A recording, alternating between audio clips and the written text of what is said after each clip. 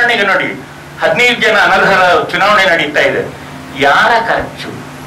ಆ ಮನುಷ್ಯರೆಂತದ್ದು ಕೆಟ್ಟವರ, ಒಳ್ಳೆಯವರ, ಹನಿ ಸಿಕ್ಕಿ ಬಿದ್ದವರ ಅಥವಾ ವಿಧಾನಸೌಧದಲ್ಲಿ ನೀಲಿ ಫಿಲಮ್ ಅನ್ನ ನೋಡಿದವರ, ಅದೆಲ್ಲ ಮತ್ತೆ ಇರಲಿ.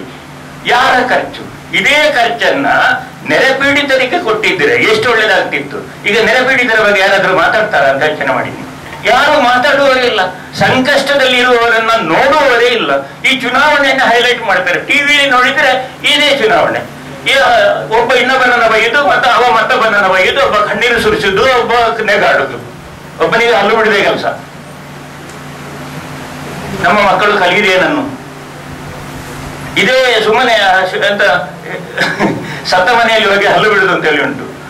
ಮದುವೆ ಮನೆಯಲ್ಲಿ ಕೂಡ ಅಳುಮುಖ ಮಾಡುವವರು ಮಕ್ಕಳು ಕಲಿತು ಏನು ಪ್ರಯೋಜನ ಇದೆ ಅಂತ ಆಲೋಚನೆ ಮಾಡಿ.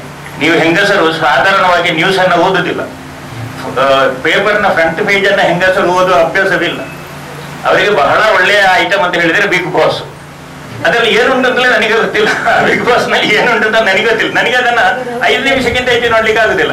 ರವಿ ಬೆಳಗೆರೆ ಇದ್ದಾಗ ನಾನು ನೋಡಿದೆ ಯಾಕೆ ರವಿ ಬೆಳಗೆರೆ ಇದ್ದಾನೆ? ಅದರಿಂದ ಅದರಲ್ಲಿ ಒಂದು ಒಳ್ಳೇದಿದೆ ಅಂತ. ಇಂತಹ ಐಟಮ್ಗೆ ಹೆಚ್ಚು ಪ್ರಯೋಜನ. ಇದು ಧಾರಾವಾಹಿಗಳು ಬರ್ತವೆ.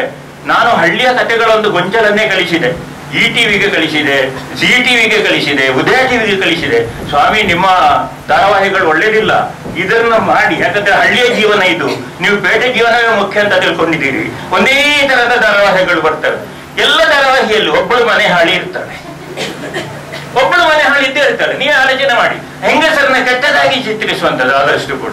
ಇಂತಹ ಧಾರಾವಾಹಿಗಳೇ ಬರ್ತಾ ಇದ್ರೆ ಮಕ್ಕಳ ಮೇಲೆ ಬೀರಬಹುದಾದ ಪ್ರಭಾವ ಏನು? ಯೋಚಿಸಿ ಅಂತ ಹೇಳಿದ್ರೆ. ಅವ್ರು ಹೇಳ್ತಾರೆ, ಇಲ್ಲ ಶಿಶಿಲ್ರೆ ನಮಗೆ ಹಳ್ಳಿಯ ಚಿತ್ರಣ ಮಾಡ್ಲಿಕ್ಕೆ ಆಗುದಿಲ್ಲ.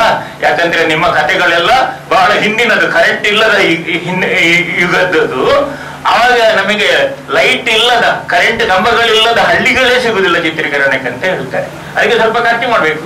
ಸುತ್ತಬೇಕು ಕಷ್ಟ ಉಂಟು. ಆಗಲಿಲ್ಲ ನನ್ನ ಯಾವ ಕಥೆಯೂ ಕೂಡ ಚಿತ್ರೀಕರಣ ಆಗ್ಲೇ ಇಲ್ಲ. ಇದನ್ನ ಯಾಕೆ ಹೇಳ್ತಾ ಇದ್ದೇನೆಂದ್ರೆ